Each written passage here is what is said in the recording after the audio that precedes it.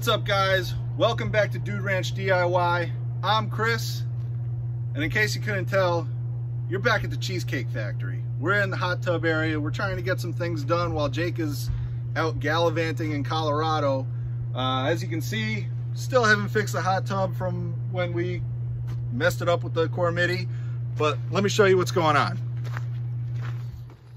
All right, so out here, if you don't remember from the last video that we did back here, trying to extend this bluestone patio all the way to the end of this fence line here.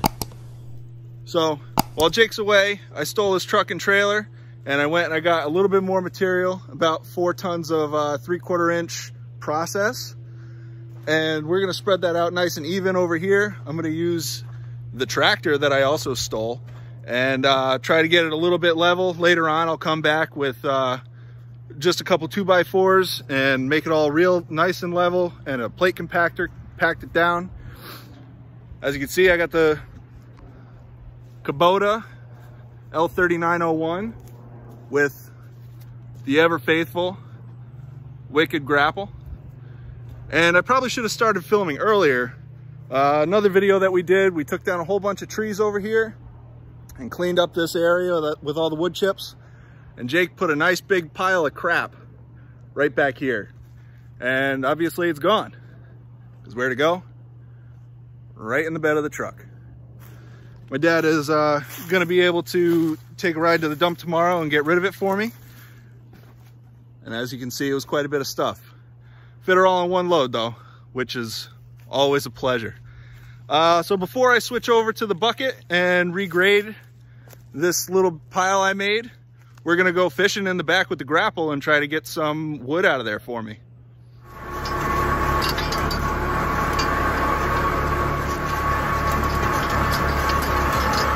All right, so we took a ride on down through my wood yard, into my backyard, behind my chigloo, and over here, we got woods.